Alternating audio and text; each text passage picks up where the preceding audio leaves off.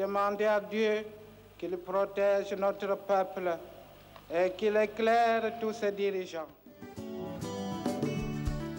La masse qui nous attend demain, cette masse demande autre chose que le bien de vote aujourd'hui.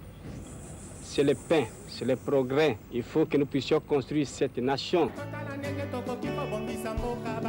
France Fanon ne disait-il pas que l'Afrique a la forme d'un revolver? Dont la gâchette est placée aux Zaïre Car la libération du Zaïre représente la possibilité pour tous les autres pays d'Afrique de pouvoir enfin se développer. Qu'en dépit de complots visant sa déstabilisation et sa balkanisation, la République démocratique du Congo demeure unie dans ses frontières de 1960.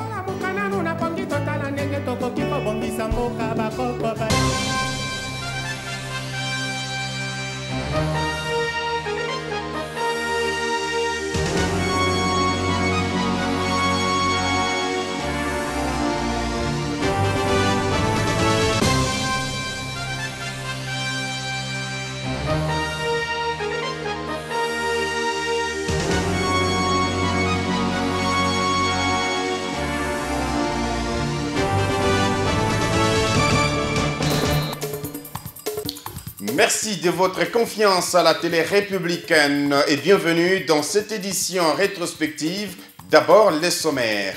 Pour tirer au clair la situation du président de l'UNC, Vital Kamere, qui a défrayé la chronique la semaine dernière, le ministre de l'Intérieur, Mouyej Manguezemans, a donc rencontré lundi dernier une délégation de cette formation politique il devait lui transmettre des instructions du gouvernement en ce qui concerne la sécurité dans l'est de la République démocratique du Congo. Et puis au Katanga, Gabriel Kyungu Akumonza, président de l'Assemblée provinciale, plaide en faveur de la création des emplois pour les jeunes. Il exhorte le gouvernement provincial à organiser des patrouilles nocturnes et diurnes pour maîtriser tous les hors-la-loi qui sèment la panique dans la province du Katanga et surtout dans la ville que préfère Lubumbashi.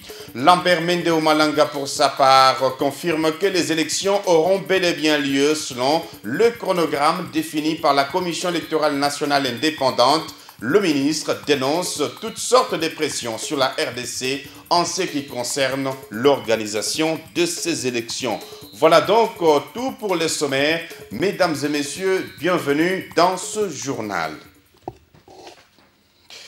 D'abord, 16 février 1992, 16 février 2014, jour pour jour, 22 ans des martyrs de la démocratie. Ces Congolais, alors zaïrois, étaient donc tombés sous les balles du régime de l'époque conduit par le maréchal Mobutu Sese Seko Wazabanga. Il réclamait donc, euh, ses compatriotes, la rouverture de la conférence souveraine, conférence nationale souveraine. Euh, depuis cette date, aucun procès n'a jamais été ouvert contre les instigateurs de ces massacres des chrétiens. Les élections auront bel et bien lieu en 2016 en République démocratique du Congo, confirme le porte-parole du gouvernement. Lambert Mendeo Malanga s'insurge contre le comportement de la communauté internationale qui tend à vouloir s'immiscer dans la gestion interne de la République démocratique du Congo en fixant 2016 comme une année électorale alors que le gouvernement travaille à travers la Commission électorale nationale indépendante pour l'organisation de ces élections générales conformément à la Constitution de la République. Le ministre des Médias l'a dit vendredi lors de la conférence de presse qu'il a animée au studio de la RTNC de Lambert Mende Omalanga, des propos recueillis par Nadine Laing et Patti Alouma.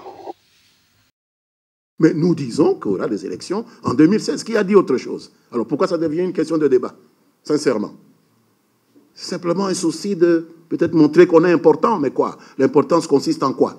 Qui a dit qu'il n'y aurait pas élection en 2016 Donc voilà le type de choses que nous trouvons parfois questionnables dans les démarches de certains de nos partenaires.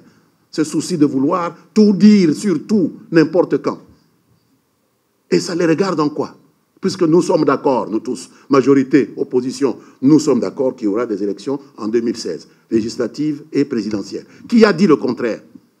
Lorsqu'on est représentant dans un pays, quelque part, on fait un peu attention à ne pas bousculer les usages. Et les usages, c'est que le débat politique appartient aux nationaux. Et il n'y a même pas une contradiction. Ce que le président dit, c'est ce que l'opposition a dit. Alors, vous, venez mettre votre grain, pourquoi? Si vous êtes arbitre et qu'il n'y a pas de faute, vous sifflez, pourquoi? Vous allez perturber le jeu, inutilement, en admettant que vous soyez arbitre. Voilà. Il adore les médias, mais ne passe pas très souvent. Le président de l'Assemblée provinciale du Katanga était devant la presse samedi à Lubumbashi. Gabriel Kyungu Akumwanza propose sa recette pour lutter efficacement contre les Bakata Katanga. Il exige la création des emplois pour les jeunes. Il faut aussi instaurer des patrouilles nocturnes pour servir ou sévir contre les hors-la-loi. Les détails de ce point de presse avec notre correspondant permanent à Lubumbashi, Peter Mbalaje, au téléphone par Mariam Moya. Un samedi particulier pour le président de l'Assemblée provinciale du Katanga, honorable Antoine Gabriel Tungua Kumwanza, avec les chevaliers de la plume et du micro. Dans son exposé devant la presse, le président Kyungu a présenté des primes abord la situation sécuritaire du Katanga, jugée pitoyable. Ici, il a évoqué les cas des événements Bakata Katanga, le Maïmaï qui ne cesse d'envenimer l'insécurité et la peur des investisseurs. De ces points, le président a mis en garde tous les jeunes qui sont victimes d'une fausse manipulation de personnes dans l'ombre. À cet effet, une option a été retenue et qui sera appliquée à tous les détracteurs, à savoir les bâtons à la place de la carotte. Il a par ailleurs demandé aux groupes existants dans les territoires à problème de déposer les armes avant les pires.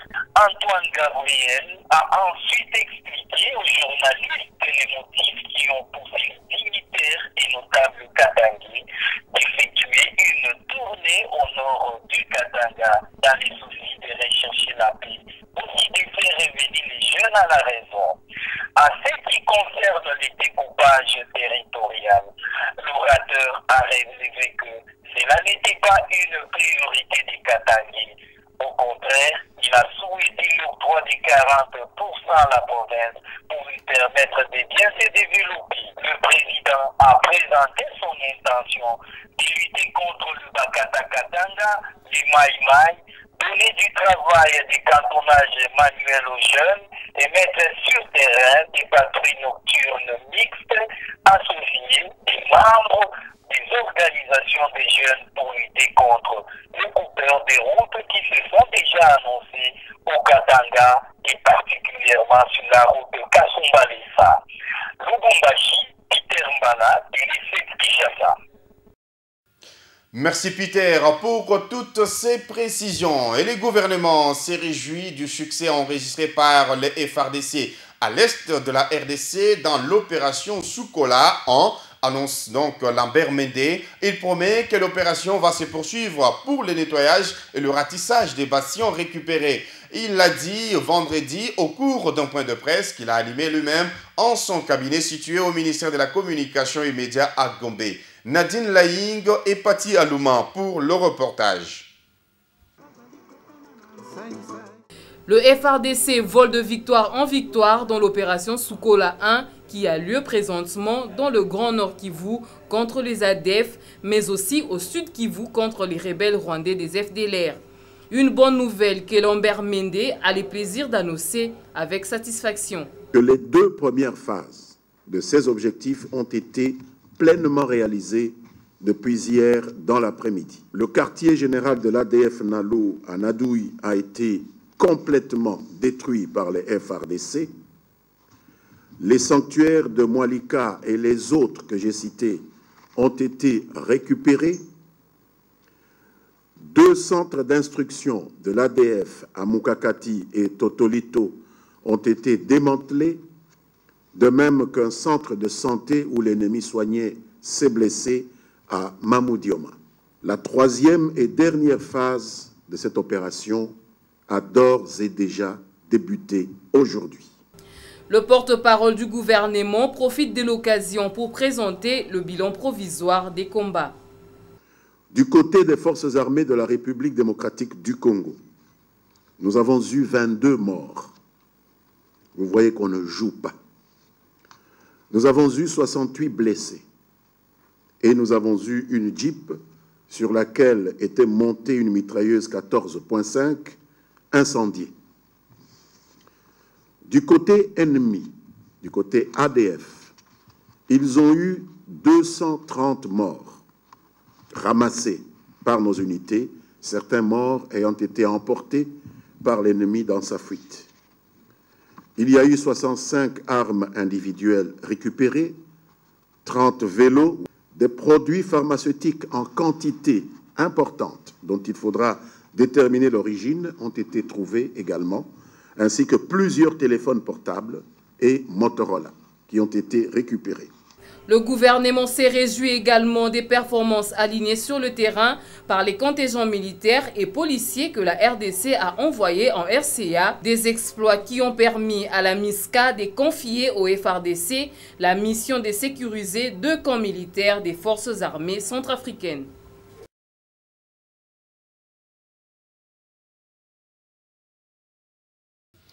Le dernier communiqué de l'Union européenne, le séjour de Martin Kobler au Katanga, ont constitué l'essentiel de la vidéoconférence de la MONUSCO de mercredi dernier. Le représentant spécial du secrétaire général des Nations Unies en République démocratique du Congo appelle les Maïmaï ainsi que les Bakata Katanga à déposer les armes. Martin Kobler annonce par la même occasion le déplacement d'une partie de ses hommes pour le Katanga. L'émissaire de l'Union européenne insiste pour sa part sur l'obligation qui incombe au gouvernement de respecter le cycle électoral et la liberté d'expression. Mariam Boya et Cédric Kidimbo pour le reportage. Bonjour et merci d'être au rendez-vous de cette... Devant un parterre de journalistes, l'émissaire de l'Union européenne fixe les esprits sur le communiqué de son institution qui suscite encore des réactions dans la capitale.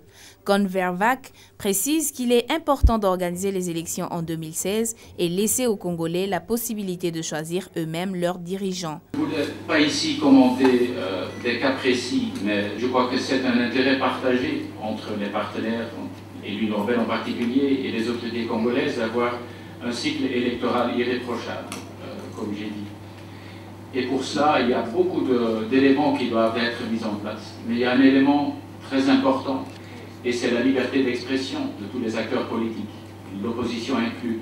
Je crois qu'une démocratie n'est que renforcée lorsqu'il y a un débat contradictoire et la liberté d'expression. De retour du Katanga, où il y a un regain d'insécurité ces derniers temps qui fait craindre les pires, le patron de la MONUSCO assure avoir eu des entretiens avec les autorités provinciales sur cette question. Au nom de la MONUSCO, Martin Kobler promet d'envoyer une partie de sa troupe dans cette partie du pays où la milice de Maï Bakatakatanga perturbe la quiétude de la population. Au cours de cet échange avec la presse, le PNUD annonce qu'il va lancer un programme pluriannuel d'appui au ministère de la Justice. Ce projet cible quatre domaines, dont la police judiciaire, la gestion pénitentiaire, la coordination du secteur de la justice et l'accès à la justice.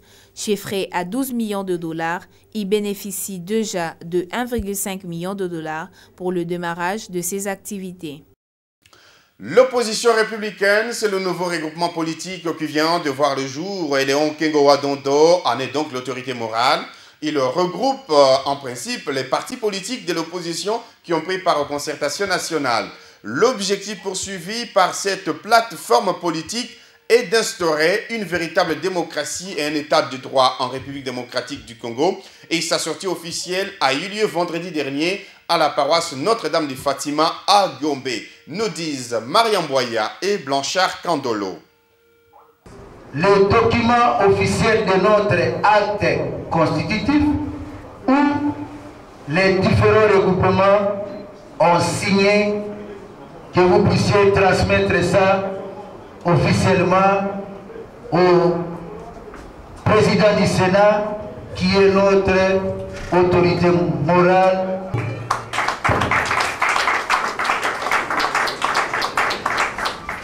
C'est par cette cérémonie de remise des documents constitutifs de cette plateforme aux représentants de Léon Kingo Adondo que l'opposition républicaine, cette nouvelle coalition, apporte son soutien et son attachement au président du Sénat. Au nom de son autorité morale, le professeur Michel Bongongo a les mots justes pour remercier l'Assemblée plénière pour le choix porté sur la personne du président de son parti. Nous vous remercions pour cet acte de courage politique et cet effort que vous ne cessez de fournir pour le bien de notre population et pour l'avenir de notre pays. Les signatures que chacun des participants appose est la preuve de leur engagement à militer pour l'instauration d'une véritable démocratie et d'un état de droit en République démocratique du Congo. Ce regroupement politique comprend entre autres l'autorité morale, le Conseil national et la coordination nationale, poste qu'assume à titre provisoire Jean-Pierre Lissanga Bonganga. Dans un autre chapitre, en visite officielle à Kinshasa, le premier vice-président du bureau du Parlement panafricain a clôturé ses multiples contacts par une conférence de presse. Roger Nkodo Dong dit être venu sensibiliser le Parlement national à adhérer au Parlement continental. Il a aussi annoncé la célébration le mois prochain de 10 ans d'existence de cet organe de l'Union africaine. Il l'a dit au cours d'une conférence de presse au Palais du Peuple nous dit Blanchard Candolo. Roger Nkodo Dong a voulu à travers ce face-à-face avec la presse faire connaître le Parlement panafricain à la population. Cela au terme de son séjour de travail à Kinshasa. Ce député camerounais et premier vice-président du bureau du Parlement panafricain est dans une campagne de sensibilisation à travers le continent en vue d'obtenir l'adhésion de tous les parlements africains à la démarche de doter cette assemblée consultative de l'Union africaine le pouvoir législatif. Le problème du Parlement, qui n'a qu'une voix consultative, ne peut pas euh, régler les problèmes des, États africains. Maintenant que nous voulons un pouvoir législatif, si on venait à nous donner le pouvoir législatif, je crois qu'en votant les lois qui peuvent être opposable aux États africains, notre action sera plus visible. Cet organe de l'Union africaine, qui célèbre le mois prochain ses 10 ans d'existence, a déjà mené plusieurs missions à travers le continent. Le conflit entre la République démocratique du Congo et le Rwanda a été évoqué à la dernière session de cette institution. La première victoire, ça a été la victoire diplomatique. Parce que lors des débats, au mois d'octobre dernier, la délégation congolaise a fait sortir de la salle la délégation rwandaise. À court d'arguments, dont les autres ont été obligés d'abdiquer. Et en diplomatie, c'est très grave, c'est un geste, un geste très grave que vous êtes en plein débat, vous, vous claquez la porte. L'Assemblée de ce Parlement panafricain est composée de 265 députés Chacun des 53 pays membres de l'Union africaine envoie 5 députés élus ou nommés par les parlements nationaux. L'exécution de l'accord cadre d'Addis Abeba était au centre des audiences accordées successivement par François Mwamba Chichimbi à Marie Robinson et Con Vervec, le coordonnateur national du mécanisme de suivi et coordonnateur de l'accord cadre d'Addis Abeba et l'envoyé spécial de l'ONU dans la région des Grands Lacs conviennent de marcher ensemble pour l'application totale par la République démocratique du Congo de cet engagement censé ramener la paix dans la sous-région. Avec le coordonnateur de l'Union européenne, il était question de l'évolution du processus de réforme des services de sécurité congolaises. Encore une fois, José Junior Owawa. C'est un véritable ballet diplomatique que le coordonnateur du mécanisme national de suivi de l'accord cadre d'Addis Abeba s'offre dans son cabinet. Après Pascal Labille, émissaire du Royaume de Belgique, François Mamba échange avec Mary Robinson sur la mise en œuvre de l'accord cadre d'Addis Abeba. Il y a des avancées, reconnaît la diplomate onusienne. En revanche, elle insiste pour que la pression soit maintenue sur les pays signataires pour l'aboutissement heureux du processus de paix dans la région des Grands Lacs. Au niveau régional, on a fait assez de progrès. Et au sommet de l'Union africaine à Addis, à la fin de janvier, les chefs d'État et de gouvernement de la COCAD ont décidé un plan d'action avec 15 priorités. Et ça veut dire que vraiment on est déterminé d'aller en avance au niveau régional et au niveau national. Je suis très heureuse de savoir qu'on a fait des progrès aussi. Évolution certes, il y en a, mais l'Union européenne exige des actions concrètes. Ce coordonnateur dans les Grands Lacs est formel. On a beaucoup parlé de, de, la réforme du secteur de sécurité, qui, qui, est aussi une, une priorité nationale qui, qui nous, en tant que l'Union européenne, partageons. La succession des visites dans cette structure du gouvernement est la preuve éloquente de l'importance du mécanisme de suivi dans les processus de paix en RTC, d'où les regards de la communauté internationale sont rivés vers elle, dont on attend des actions concrètes. Deuxième et dernier round de discussions entre le gouvernement et le parti politique Union pour la nation congolaise de Vital Kamere. Cette formation politique vient donc d'obtenir du gouvernement, à travers le ministre de l'Intérieur, Sécurité, Décentralisation, Affaires coutumières, son faveur pour lancer sa caravane paix à travers le pays. Le parti de Vital Kamere prend donc l'engagement de mener ses activités dans le respect des lois de la République démocratique du Congo les deux parties se sont donc retrouvées mercredi dernier au cabinet du ministre de l'Intérieur. Reportage. Tous les contours du voyage que comptait effectuer le leader de l'Union pour la Nation à l'est du pays ont été expliqués au ministre de l'Intérieur, Sécurité, Décentralisation et Affaires coutumières en présence des responsables de la NER et de la deuxième. À l'issue de cette deuxième rencontre, les deux parties ont convenu il appartient désormais à l'UNC et alliés dans le cadre de son agenda qui a été suffisamment perturbé par les dernières hésitations, les dernières sorties manquées, de programmer ce déplacement, pas seulement à l'Est, mais sur toute l'étendue du territoire national et pourquoi pas dans la ville de Kinshasa. Le gouvernement nous a fait part de ses inquiétudes quant à ce déplacement, étant donné que la zone de l'Est du pays n'est pas encore suffisamment pacifiée ni sécurisée. La délégation de l'UNC a pris l'engagement de poursuivre sa caravane de paix dans le strict respect des lois du pays. Nous avons, en ce qui nous concerne, rassuré le gouvernement de notre intention de nous y rendre dans le respect des lois de la République. Et donc à ce sujet, il n'y a pas de problème. Nous pouvons nous rassurer et vous rassurer vous-même que les divergences ont été aplanies. Une itinérance qui paraît sensible pour le gouvernement en ce moment où les ennemis de la RDC sont à la baguette, scrutant le moindre faux pas pour sévir. La société Transco vient de s'enrichir d'un nouveau lot de 70 bus affectés tous au transport en commun à Kinshasa sous la supervision du ministre des Transports et des Communications. Ces engins ont sillonné lundi dernier les grandes artères de la capitale avant de finir leur course à la gare centrale dans la commune de la Gombe. Les détails dans ce reportage de Nadine Laing et Fiston Bouigny. Ils sont 70 au total, composés essentiellement de minibus et de gros bus de grande capacité affectés tous au transport en commun dans la capitale. Pour donner à cet événement un autre relief, le ministre de Transport et Voies de Communication a laissé momentanément son bureau pour présider la cérémonie de réception de ces engins qui amène à 300 nombres de bus mis en circulation par Transco pour la ville de Kinshasa. Justin Kalumba ne manque pas d'exhorter leurs conducteurs à plus de responsabilités. Insistons particulièrement à l'intention des chauffeurs, des transports notamment, parce que jusque-là, nous avons des problèmes pour avoir des vrais chauffeurs, des personnes qui soient formées et qui mettent réellement en pratique sur le terrain ce qu'elles ont appris.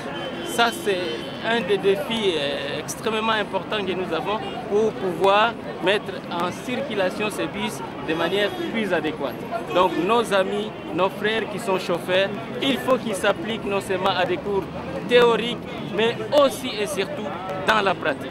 Comblé, le directeur général de Transco a des mots justes pour saluer la détermination du gouvernement qui consiste à offrir un service de transport en commun de bonne qualité à la population congolaise. On est vraiment dans un autre modèle, hein. c'est la révolution de la modernité, ben, on est dedans, hein. il faut que tout le monde marche dedans, on ne pourra pas faire autrement. Difficile dans cette euphorie d'oublier l'enthousiasme des bénéficiaires, ces femmes encouragent le gouvernement à faire davantage pour taire toutes les mauvaises langues qui trouvent à redire sur l'action de l'équipe Matata. Arrêtez de distraire cette équipe gouvernementale qui s'emploie, surtout avec l'arrivée de ces bus, à réduire le taux de chômage en République démocratique. Le ministre promet l'arrivée bientôt d'un autre lot de bus, toujours pour le compte de l'opérateur public Transco, qui en définitive devrait avoir un parc de 500 bus. 250 autres minibus vont aussi atterrir dans la capitale, cette fois-là pour le compte d'un opérateur privé, rassure Justin Kalumba Mwanangongo. Et puis, euh, on l'a appris au courant de cette semaine, le décès de l'artiste musicien King Kester. En attendant, bien sûr, le programme officiel de ses funérailles, les tractations sont donc en cours à Kinshasa et ses pères n'arrêtent de dire toute leur consternation. Félix Wazekwa, par exemple, estime pour sa part que c'est une grande perte pour la musique congolaise. Il lance également un SOS à l'endroit des pouvoirs publics pour la prise en charge des artistes congolais. Les détails dans ce reportage de Paul Félicien Nongana.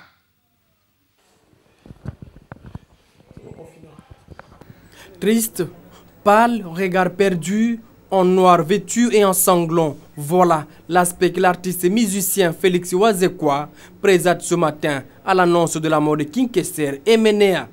Le patron de Cultura Pays précise que c'est une grande perte pour la musique congolaise. Avec l'arme. Avec l'arme, donc c'est... Ah. C'est un ami qui s'appelle Sélé, c'est le Luka. Parce que je viens de Bukavu. Je viens de Bukavu. Et là-bas, il y a les, samedis. Euh, c'est le Luka est venu me voir dans, hein, dans, ma chambre. Non, il faut que je vous apprenne quelque chose. Là, euh, on vient de réopérer euh, ton frère. Ah, quoi encore? Non, c'est le cœur, parce qu'il avait déjà un pacemaker. Donc là, encore, parce que normalement, quand on a déjà le pacemaker, c'est fini, donc on attend que ça, ça fasse l'effet. Donc dès qu'on a appris qu'il a été réopéré, on savait qu'on s'attendait déjà à quelque chose de bien. Mais quand je parlais avec sa femme, donc je sentais déjà qu'il y avait déjà quelque chose. Quoi. Elle avait plus d'espoir. Voilà, je lui ai parlé. Que ça, c'est mon confident. C'est-à-dire, quand on est ensemble, on se met quelque part pour tout Il faut que je le dise. Kester va parler avec moi. Ouais, celui-là, il faut faire attention. Ouais, celui-là, c'est ceci. Ouais, celui-là. Kester était là pour me guider, pour me dire à qui je dois faire attention. Ça, c'est King Kester Menea. Kester me dit, Félix, quand moi je sors dans la rue, quand on avait du succès, quand je sors dans la rue, tout le monde me suit. Mais les jours du concert, vous verrez peu de monde. Mais quand c'est Nyokalongo qui suit dans la rue, personne ne le suit. Mais le jour du concert, il a plus de gens que moi. Ça, c'est Kester. Il parle de lui. Quand il est fort, il parle de lui aussi. Il reconnaît ses faiblesses. Voilà. Donc, c'est vraiment un peu... Non, non. Aujourd'hui, j'ai fait un effort pour pouvoir vous parler. Vous voyez? Donc, maintenant, je viens de parler aux généraux pour aller sécuriser la parcelle de Kester et Menea. Félix Ouazekwa profite de cette occasion pour exhorter les pouvoirs publics à la prise en charge réelle des artistes congolais, eux qui font la fierté du pays au-delà des frontières nationales.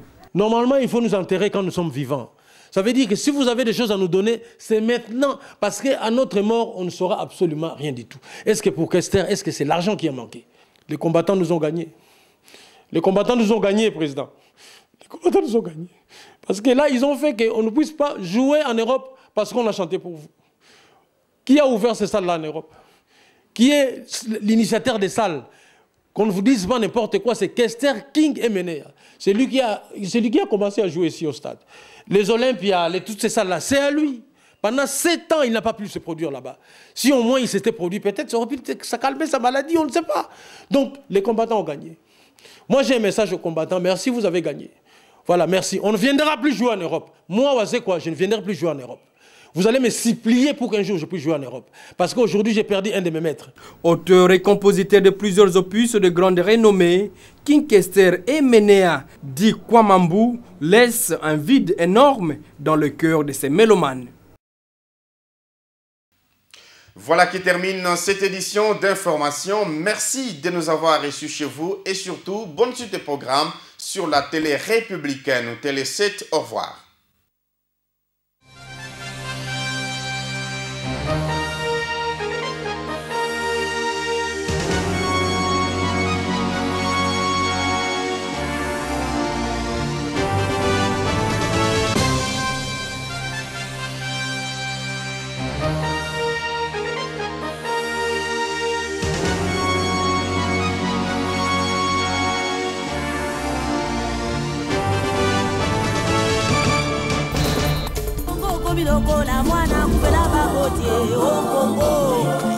Les complots étaient déjà faits.